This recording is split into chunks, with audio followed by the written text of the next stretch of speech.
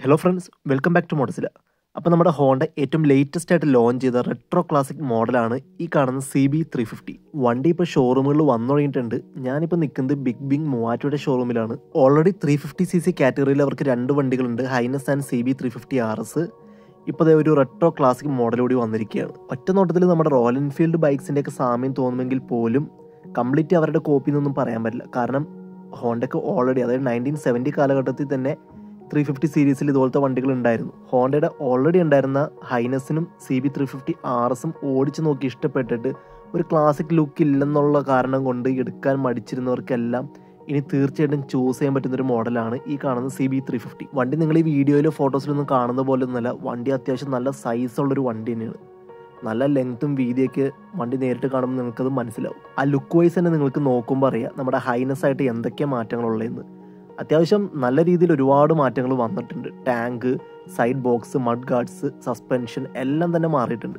എല്ലാ പാർട്സും നിങ്ങൾക്ക് നോക്കുമ്പോൾ തന്നെ അറിയാം മൊത്തത്തിലൊരു ബൾക്കിനെസ് വന്നിട്ടുണ്ട്. ഈ വണ്ടിയുടെ രണ്ട് മഡ് ഗാർഡ്സ് കാണുമ്പോൾ തന്നെ നിങ്ങൾക്കത് മനസ്സിലാവും. ആ ഒരു ക്ലാസിക് ലുക്ക് വരുന്നതിന്റെ കൂടെ തന്നെ അത്യാവശ്യം നല്ല വീതിയും വലിപ്പമുള്ളൊരു മഡ് ഗാർഡ്സ് ആണ് കൊടുത്തിരിക്കുന്നത്. നമുക്കതിൽ നിന്നൊരു ഗുണം എന്ന് വെച്ചാൽ നമ്മുടെ ഹൈനസിലുണ്ടായിരുന്ന ഒരു പ്രോബ്ലം ആയിരുന്നു ചെളി തെറിക്കുന്ന പ്രശ്നം. അത് ഈ ഒരു വണ്ടിയിൽ ഉണ്ടാവില്ല എന്ന് തന്നെ നമുക്ക് പ്രതീക്ഷിക്കാം. പിന്നെ അത്യാവശ്യം നല്ല വീതിയുള്ള സീറ്റൊക്കെ ആയതുകൊണ്ട് തന്നെ ഫാമിലിക്ക് വളരെ കംഫർട്ടായിരിക്കും ഫാമിലി യൂസേഴ്സിന് ആർ എസിനേലും ഹൈനസിനേലും കുറച്ചും കൂടി ചൂസ് ചെയ്യാൻ പറ്റിയൊരു ഓപ്ഷൻ ആയിരിക്കും ഈ കാണുന്ന സി ബി ത്രീ ഫിഫ്റ്റി പിന്നെ റെട്രോ ലുക്ക് കൊണ്ടുവരാൻ വേണ്ടി അവർ മെയിനായിട്ട് യൂസ് ചെയ്തിരിക്കുന്ന കാര്യമാണ് സസ്പെൻഷന്റെ ഡിസൈൻ ഫ്രണ്ട് ആൻഡ് ബാക്ക് നമ്മുടെ ബുള്ളറ്റിലൊക്കെ ഉള്ള പോലത്തെ ഒരു ഡിസൈൻ ആണ് കൊടുത്തിരിക്കുന്നത്. ഫ്രണ്ടിൽ ടെലിസ്കോപ്പിക്കും റെയറിൽ ഗ്യാസ് ഫിൽഡ് ഷോക്കാണ് കൊടുത്തിരിക്കുന്നത്. മീറ്റർ കൺസോളും കാര്യങ്ങളൊക്കെ സെയിം ഹൈനസിലൊക്കെ ഉള്ള പോലെ തന്നെയാണ്. ചെറിയ ലുക്കിൽ മാറ്റം വരുത്തിയിട്ടുണ്ടെന്നുള്ളൂ. എന്നാൽ പോലും ഒരു അനലോഗ് പ്ലസ് ഡിജിറ്റൽ മീറ്റർ കൺസോളാണ് കൊടുത്തിരിക്കുന്നത്. നമ്മളിപ്പോൾ കണ്ടുകൊണ്ടിരിക്കുന്നത് ഡിലക്സ് പ്രോ മോഡലാണ് അതുകൊണ്ട് തന്നെ ഇതിനകത്ത് കുറച്ച് ക്രോം എലമെന്റ്സ് കൂടുതലാണ്. അതുപോലെ തന്നെ ബ്ലൂടൂത്ത് കണക്ഷനൊക്കെ ഈ ഒരു മോഡലിലാണ് ഉള്ളത്. അതുമാത്രമല്ല ഫുൾ വണ്ടിയുടെ കളർ വരുന്ന മഡ് ഗാർഡ്സും എല്ലാം കളർ വരുന്ന ഡിലക്സ് പ്രോ മോഡലാണ് അതുപോലെ തന്നെ സീറ്റ് കളർ വ്യത്യാസം വരുന്നതും ഡിലക്സ് പ്രോ മോഡലാണ് ഇതിന്റെ ലൈറ്റ്സ് കാര്യങ്ങളെല്ലാം തന്നെ നമ്മുടെ ഹൈനസിലൊക്കെ ഉള്ള പോലെ തന്നെ കംപ്ലീറ്റ് എൽ ഇ ഡി ആണ് കൊടുത്തിരിക്കുന്നത്. അതായത് ഹെഡ്ലൈറ്റ് ടെയിൽ ലാമ്പ് ഇൻഡിക്കേറ്റേഴ്സ് എല്ലാം തന്നെ. അതുപോലെ തന്നെ ടയർ സൈസിൽ മാറ്റങ്ങളൊന്നുമില്ല. ഫ്രണ്ട് ആൻഡ് ബാക്ക് സെയിം ടയേഴ്സാണ് കൊടുത്തിരിക്കുന്നത്. അത്യാവശ്യം ഓൾറെഡി വീതിയുള്ള ടയേഴ്സ് തന്നെയായിരുന്നു ഉണ്ടായിരുന്നത്. അതുകൊണ്ട് തന്നെ മഡ് ഗാർഡിന് സൈസ് കൂടിയതുകൊണ്ട് അതൊരു മിസ്മാച്ചിങ് കാര്യങ്ങളൊന്നും വന്നിട്ടില്ല. പിന്നെ വണ്ടിയുടെ ബ്രേക്സ് ഒക്കെ ആണെങ്കിലും സെയിം തന്നെയാണ്. Front and back dual channel A B S ആണ് വരുന്നത്.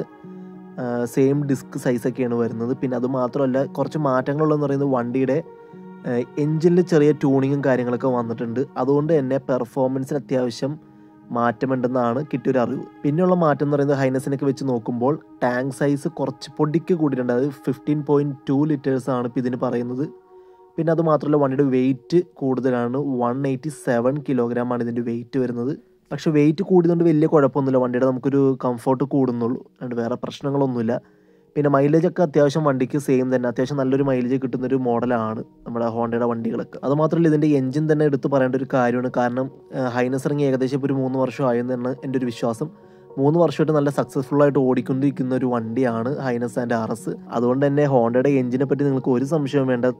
തീർച്ചയായിട്ടും നിങ്ങൾക്ക് ചൂസ് ചെയ്യാൻ പറ്റുന്ന നല്ലൊരു ഓപ്ഷനാണ് ത്രീ ഫിഫ്റ്റി സി സി കാറ്റഗറിയിൽ അത് മാത്രമല്ല ഞാനും അത്യാവശ്യം നല്ലൊരു ലോങ് റൈഡൊക്കെ ഹൈനസിൽ പോയിട്ടുണ്ട്. ഞാൻ വളരെ സാറ്റിസ്ഫൈഡ് ആയിരുന്നു. എന്താണെങ്കിലും ഓവറോൾ നോക്കുവാണെങ്കിൽ ഹോണ്ടയുടെ സൈഡിൽ നിന്ന് നല്ലൊരു മൂവാണ് ഉണ്ടായിരിക്കുന്നത്. ഇത് കുറച്ചും കൂടി മുൻപേ ആവാമായിരുന്നു എന്ന് തോന്നിപ്പോവുകയാണ്. കാരണം അത്രയും നല്ലൊരു പെർഫെക്റ്റ് ആയിട്ടുള്ളൊരു ക്ലാസിക് വണ്ടിയായിട്ടാണ് എനിക്കത് തോന്നിയത്. ഈ ഒരു പ്രൈസ് നിങ്ങൾക്ക് അഫോർഡ് ചെയ്യാൻ പറ്റുന്നുണ്ടെങ്കിൽ തീർച്ചയായിട്ടും നിങ്ങൾക്ക് ചൂസ് ചെയ്യുന്ന ഒരു വണ്ടിയാണ് സി ബി ത്രീ ഫിഫ്റ്റി നിലവിൽ അഞ്ച് കളേഴ്സിലാണ് Honda C B three fifty launch ചെയ്തിരിക്കുന്നത്. ഈ ഒരു വണ്ടിയുടെ പ്രൈസ് ഡീറ്റെയിൽസിലേക്ക് വരുവാണെങ്കിൽ ഡിലക്സ് മോഡൽ അതായത് ബേസ് വേരിയന്റ് വരുന്നത് രണ്ട് ലക്ഷത്തി എൺപത്തി രണ്ടായിരത്തി സംതിങ് ആണ്. ഒരു അപ്രോക്സിമേറ്റ് റേറ്റ് ആണ്. അതുപോലെ തന്നെ ടോപ്പ് വേരിയന്റ് ആയിട്ടുള്ള ഡിലക്സ് പ്രോയ്ക്ക് വരുന്നത് രണ്ട് ലക്ഷത്തി എൺപത്തി ആറായിരമാണ് ഒരു മൂന്നര നാലായിരം രൂപയുടെ ഡിഫറൻസ് ഈ രണ്ട് വണ്ടിക്കുള്ളൂ ഈ വണ്ടി എടുക്കാൻ താല്പര്യമുള്ളവർ തീർച്ചയായിട്ടും ടെസ്റ്റ് ഡ്രൈവ് ചെയ്ത് നോക്കാം. വണ്ടി ഷോറൂമിൽ വന്നു തുടങ്ങിയിട്ടുണ്ട്. ഞാനിപ്പോൾ നിൽക്കുന്നത് ബിഗ് ബിഗ് മൂവാറ്റയുടെ ഷോറൂമിലാണ് അപ്പോൾ നിങ്ങൾക്ക് എന്തെങ്കിലും ഇ എം ഐ സ്കീമുകളും ഓഫേഴ്സൊക്കെ അറിയണമെന്നുണ്ടെങ്കിൽ അവരെ കോൺടാക്ട് ചെയ്യാം. അവരുടെ ഡീറ്റെയിൽസും കാര്യങ്ങളൊക്കെ ഞാൻ ഡിസ്ക്രിപ്ഷനിൽ കൊടുത്തിട്ടുണ്ട്. അപ്പോൾ നിങ്ങൾ എന്തായാലും വണ്ടി ടെസ്റ്റ് ഡ്രൈവ് ചെയ്ത് നോക്കാം. അപ്പോൾ എല്ലാവരും നിങ്ങളുടെ അഭിപ്രായങ്ങളും സംശയങ്ങളും കമന്റ് ബോക്സിൽ പങ്കുവെക്കുക. അപ്പോൾ പുതിയൊരു വീഡിയോ ആയിട്ട് കാണുന്നവരെ എല്ലാവർക്കും ഗുഡ് ബൈ